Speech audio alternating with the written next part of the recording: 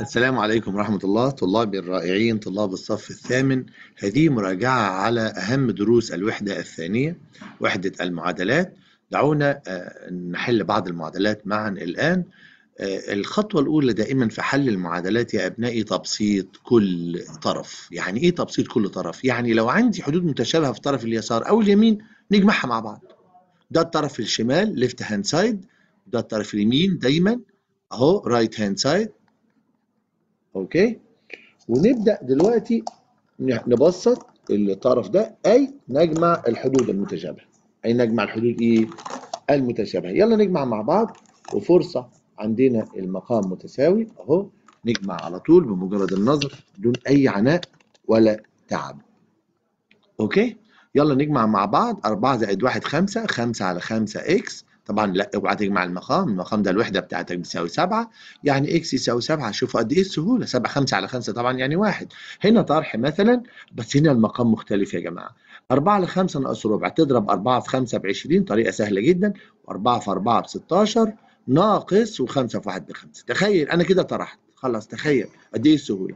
16 ناقص 5 11 على 20 x يساوي 11 للتخلص من معامل x. لو كان عندك أي كسر اعتيادي معامل x تخيل عشان تتخلص منه بس اضرب في مقلوب وخلاص.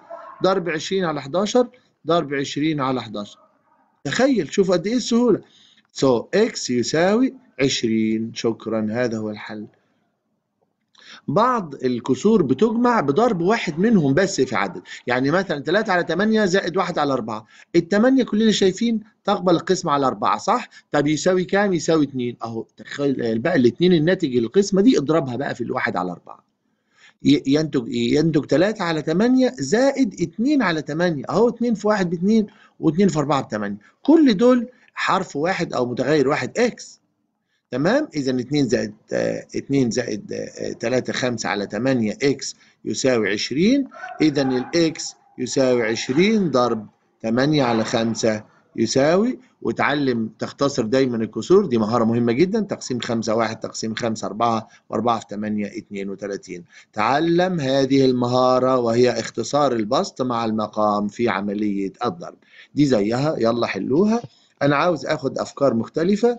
مثلا لما يكون عندي كسور على إكس ناقص 5 ما أعرفش زائد 7 يساوي ما أعرفش إيه الطرف الثاني أنا أروح على الطرف الشمال ده وأفك القوس وأجمع الحدود المتشابهه هذا ما أعنيه بكلمة بسط كل طرف. يلا نبسط هنا. مقام واحد 9 في 5 45 دايما دي طريقة سهلة لجمع أي كسرين المقام مختلف. ولا يوجد واحد ينقبل القسم على الثاني المهم 9 في 5 ب 45 وتضرب كده 5 في 24 زائد 9 في 1 بتسعة. قد إيه يا سلام على الجمال؟ شوف السهولة. دايما خدوا الأمور ببساطة يا جماعة. خدوا الأمور ببساطة. الرياضيات رغم كمية التعقيد اللي فيها والصعوبة لكن خدها واحدة واحدة هتلاقي نفسك رائع. يلا نجمع اتنين على الطرفين. أهو أهو كده خلاص. ما عادش عندي خالص اتنينات. اذا ال 29 على 45 إكس يساوي 78 العدد ده يا جماعة قد ده ثلاث مرات؟ يعني يعني إيه ثلاث مرات يا أستاذ؟ يعني أنا لو رحنا قسمنا يعني قبل ما نكمل يعني تقدروا تعملوا اللي أنا بعمله ده يبقى رائع. العدد ده والعدد ده هنقسمه على 29 29 تقسيم نفسها واحد وتقسيم نفسها هنا يساوي 3 اذا الاكس يا جماعة هي 3 ضرب 45 يساوي 3 في 5 و15 معانا 1 و13 اذا الإجابة هنا 135 شوفوا قد إيه السهوله إذا خطوات حل اي معادله I skip some questions لأن they are all similar. They are all the same idea. لما يكون عندك ثلاث كسور وعاوز تحلهم بسط على على على, على كسر واحد. يعني إيه؟ على مقام واحد. أنتوا شايفين 10 أكبر مقام عندك تقبل القسم على 5 وتقبل القسم على 2 خلاص روح على الخمسة اضربها في 2 وروح على الم... اللي فيها مقام 2 اضربها في 5 فوق وتحت. ينتج إيه كله الآن مقامه 5 شايف شايف اللي فوق دي سالب 2 3 في 2 أدي سالب 6 شايف السبعة دي أو سالب سبعة زي ما هي ما ضربناش حاجة هنا. شايف الخمسة في واحد دي يساوي خمسة. أهو. كل دول يا جماعة هما معاملات ال x. يساوي ال negative 56 وعندك أهو سالب 2 سالب 8 حل ده سالب 8 على 5 x يساوي سالب 56 اشرب السالب مع السالب يا بطل واضرب الطرفين في 5 على 8 وهات لي الحل. يلا. كمل أنت الحل واديني الإجابة. هذا السؤال واكتب لي الإجابة في التعليقات. المهم يا جماعة إيه، ده مثلا مثلا المسألة دي هتبسط كل طرف. دي بسيطة أصلا خلاص هتكتبها مرة كمان. وتروح على الطرف الأيمن تبسطه. 6 ناقص 8 سالب 2 إكس زائد 2 وتبدأ تحل عادي بجمع 2 x على الطرفين وطرح الستة من الطرفين. دايما نلغي ال x من الطرف اليمين ونلغي الرقم من الطرف الشمال. احفظ الكلام ده. لو لقى عندي المعادلة فيها أقواس بس فك القوس شوف قد إيه الجمال قد إيه السهولة. أهو أهو محدش يقول لي صعب أهو كله جدول الضرب وحاجة جميلة وحاجة زي الفل. استمتع يلا استمتع. وفكر اهو إن إحنا بندرس ونستمتع في نفس الوقت. 7 ناقص 3 4 الشاطر منكم يقرأ السبعة الأول 7 إكس ناقص 3 إكس هي نفسها طبعا سالب 3 إكس زائد 7 إكس طبعا الجمع عملية إبدالية وحاجة جميلة وحاجة حلوة والشمس طالعة حاجة يعني إيه. ناقص 3 على الطرفين اذا 4 x يساوي 24 وبقسمة الطرفين على 4 ينتج x يساوي 6 شوفوا قد إيه السهولة قد إيه الجمال. عاوز اكتفي بهذا القدر يا جماعة. آه مسائل زي كده يا جماعة لما يكون المقام عندك 6 والمقام 2 ما تضربوش السدس جوه ما توزعوش يا جماعة السدس ولا توزع النص. أمال أعمل إيه يا أستاذ؟ أنت اضرب الطرفين في 6 لما تضرب الطرفين في 6 سيمحي سيزول الكسر اضرب في 6 هنا اضرب في 6 هنا. خلاص تخيل الموضوع خلص خلاص. المسألة تخيل الطرف ده بقى x ناقص 5 شكرا. أهو. 6 في سدس واحد خلاص مفيش حاجة. والطرف ده بقى 6 تقسيم 2 يعني 3 يلا اضرب 3 جوه هنا. 3 x زائد 3 في 6 ب 18 شكرا يا سلام على الجمال. أو على فكرة ممكن تطرح x من الطرفين بحيث تثبت الطرف اللي فيه إيه؟ اكسات أكتر بحيث ال x تطلع موجبة. والله أهو. يعني 2 x زائد 18 يساوي سالب 5 الحين ناقص 18 على الطرفين. أهو أنا عمال أحل بأساليب مختلفة. ممكن أعدل المعادلة في الآخر وأبدأ ب 2 x. ما عندكش مشكلة. في أي لحظة عاوز تجيب الطرف اليمين شمال والشمال يمين خد راحتك. يلا يا سيدي أنا بنسمح لك تعمل كده وخد راحتك. والأمور جميلة وزي الفل. واقسم على اثنين. ودايما ضع إجابتك في آه، أبسط صورة اللي هي ال mixed number. اللي هي ال mixed number. نكمل يا جماعة. برضو حلوا المعادلات. أنا يعني سايب لكم معادلات بقى إيه؟ تعالوا بقى النوع ده من المعادلات يا جماعة. ده مهم جدا. ما عدد حلول المعادلات التاليه هنا عاوز عدد الحلول. يعني أنا ما يهمنيش تقول لي x يساوي كام بس قول لي المعادلة دي لها حل واحد ليس لها حل عدد لا نهائي من الحلول. يلا نحل عادي كأنه بيقول لي حل المعادلة. يعني انسى السؤال ده. انساه. حل المعادلة. يلا. حل المعادلة زي أستاذ بطرح 33 x من الطرفين. لما طرحنا 33 x من الطرفين الله ده الاكس ده الاكس اختفت تماما.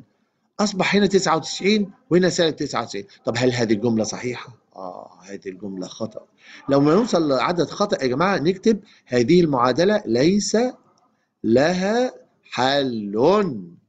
ليس لها إيه حل. طب اطرح هنا 49 من الطرفين. ينتج 9 يساوي 83 أهي دي كمان ليس لها حل. طب تعال نشوف اللي تحت. مثلا دي نفك الاقواس يلا إيه أول خطوة في الحل؟ مين يقول لي أول خطوة؟ ها؟ تبسيط كل طرف. أنا سامع ناس بتقول معايا الله يحفظكم جميعا. تبسيط يعني إيه؟ يعني أنت عندك حدود متشابهة زي 7 إكس و3 إكس اجمعهم عندك قوس فك القوس. هو ده التبسيط والله؟ أدي 10 x ناقص 8 يا سلام على الجمال. اطرح 10 x من الطرفين. ينتج سالب 8 يساوي سالب 8 هل هذه الجمله صحيحة؟ نعم. أي عدد يساوي نفسه؟ طبعا. بدال ال x اختفت وأصبح جملة صحيحة معناها إيه؟ معناها مهما تحط x بأي رقم صفر و صفر واحد اثنين ثلاثة سالب خمسة سالب أربعة مليون ألف نص ربع جذر خمسة. تنتج معادلة صحيحة معناها يوجد عدد لا نهائي من الحلول معناها يوجد عدد لا نهائي من الحلول. إذا لو نتج زي المعادلة اللي فاتت جملة خطأ عدد يساوي عدد تاني تكتب ليس لها حل. أما نتج معاك الاكس الاكس اختفت ونتج عدد يساوي نفسه تكتب عدد لا نهائي من الحلول. حلينا المعادلة زي اللي فوق وطلعت x يساوي المعادلات دي x يساوي رقم معين خلاص هو يبقى حل واحد ما فيهاش كلام. وهنعرفها دايما إزاي يا أولاد؟ هنلاقي قيم x مختلفة على الطرفين. يعني تخيلوا المعادلة دي من غير ما أحلها يوجد لها حل واحد. عارفين ليه؟ من غير ما أحل. لأن هنا 3 x وهنا 2 ونص x فال x هنا لن تزول لن تمحي إيه رأيكم في الكلام الجميل ده؟ أتمنى يكون هنا ال x مثلا هنا حل المعادلة معلش حل عادي بقى أهو. اجمع 2 و3 من 10 x على الطرفين وحل يا بطل وعيش حياتك أهو. محدش يقول لي صعب بقى أهو. ما هو جامع طرح أهو من رابعة وخمسة ابتدائي. أنت عمال تعمل حاجات من رابعة وخمسة ابتدائي. أنت عاوز إيه أسهل من كده؟ مفيش صح؟ عاوز إيه أسهل من كده؟ مفيش. الله يحفظكم جميعا.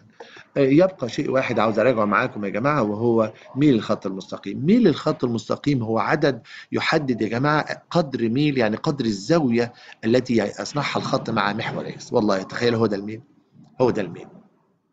ويحسب عمليا بقسمة بالنسبة للخط اللي بيمر بنقطة الأصل قسمة أي يعني خد نقطة إحداثيات يعني صحيحة بنسموها exact points.